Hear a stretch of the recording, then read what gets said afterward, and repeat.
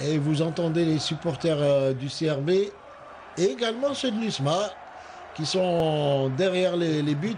Attention, le coup franc de Abdet, la balle sur la tête. Attention, il but. Ah, Et ouverture du score pour euh, cette équipe du CRB C'est signée. Benchelefa. Benchelefa Benchelefa qui met une tête qui met une une tête, tête euh, au deuxième poteau. qui trompe complètement le gardien Zemamouche. Tout à fait. Superbe euh, coup franc, bien ajusté. Scénario idéal pour le CRB. Je disais hein. que le scénario idéal était de marquer ce but euh, à la fin de cette première mi-temps et être au vestiaire avec un but d'avance.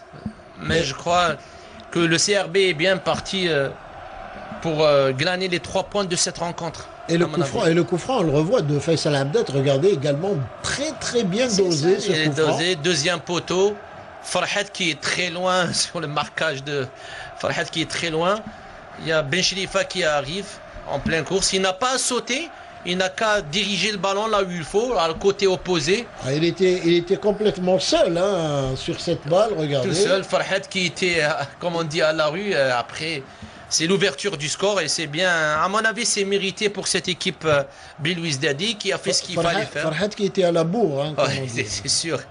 Lui, il était derrière, derrière mais je dirais, c'est normal que le CRB, les joueurs du CRB, se battent sur tous les ballons possibles pour euh, essayer de conserver ce petit avantage. Alors, il y a trois joueurs sur le coup franc. euh, il y a Bouchema, il y a Djediet et Meftah. Peut-être que c'est Meftah qui va, qui va le tirer. Non, Bouchema est parti. Ah, c'est Djediet.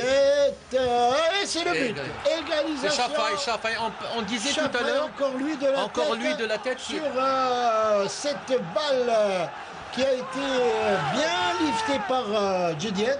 Et Chafaï est arrivé et il a mis ce ballon presque de la même manière que Ben Chelefa.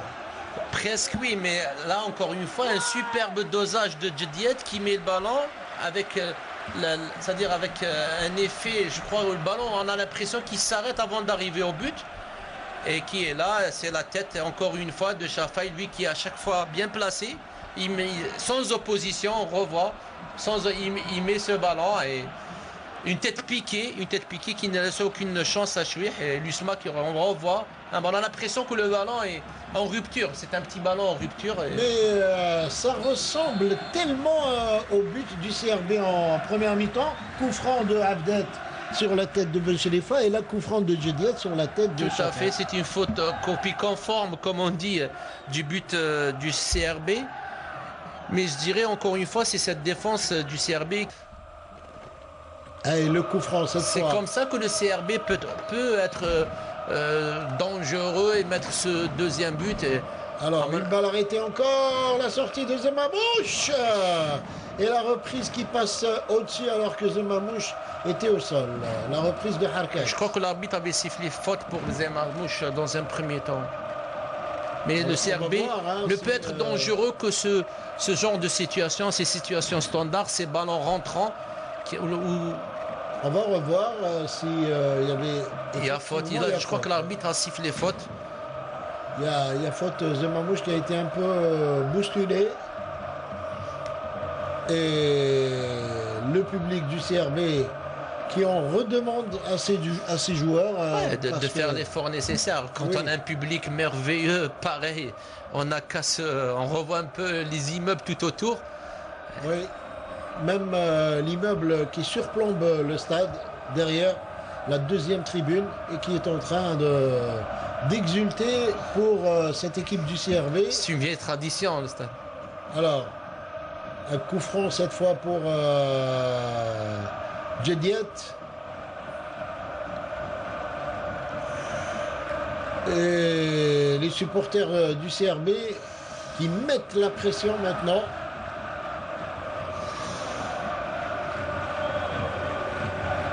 Il va y avoir, euh, va avoir du mal euh, l'arbitre Ça va, à- gê- à ça va- ça gêner, ça va les- gêner le bon déroulement les- du match. Les, les fumigènes euh, dérangent quelque peu. Attention. Oh c'est Deuxième but, Deuxième but. deuxième but. Deuxième but Deuxième pour euh, but. C'est Chafaï, c'est toujours Chafaï qui C'est encore lui, encore le lui. buteur de cette équipe de l'USMA. Et ce n'est pas le premier but qu'il marque de la tête sur les balles arrêtées. Il est toujours bien placé, bon timing et toujours au hein, Superbe timing, superbe main et superbe coup franc bien botté, je crois, par Jediet encore une fois, Eh oui. qui donne un bon ballon. Chafaï qui lui a toujours. Euh, sincèrement, moi, je pense que ce joueur dont j'en parle toujours mérite au moins une petite sélection dans un premier temps. C'est ce gars, je crois, qui frappe le coup franc. Non, non, c'est Jediet. euh, en deux temps, en deux temps, en deux temps, Lohan, il frappe dans un premier dans dans la tête. Voilà, c'est Jediet, c'est. Jediet, ouais. Il frappe de la tête. Mauvais renvoi du gardien, il tacle une deuxième fois et c'est sur le deuxième tacle, où, à mon avis, où il met le ballon au fond. Parce que le ballon n'était pas Et complètement. là, et là, et là pour le moment, en tout cas, euh, ça se complique pour le CRB. Attention, au centre et corner. Et le corner. Il faudrait pas, il faudrait revenir dans le match le plus tôt possible, le plus tôt possible dans les minutes qui. Attention, Mekhout, le centre. Et l'arbitre qui désigne le point de pénalty pour le CRB. C'est ça. L'arbitre qui désigne le point de pénalty, main, euh, dit M. Bambraham, sur cette euh, balle qu'on va revoir. Et Bravo pour les joueurs du CRB qui ont poussé, ils poussé. ont continué à jouer. Les, les joueurs de l'USMA ont levé le pied, ont voulu gérer, mais d'une façon, disons, trop, trop à la dilettante, comme on Allez, dit. on revoit. C'est Mekhout qui, qui centre. Alors. Alors là, il y a une vraie confusion, là, difficile de, difficile, hein, de, Il y a pas faute de vraiment main. de, jure, de Non, il n'y juger. a, pas- hein. a, pas- a faute de main, c'est de la cuisse.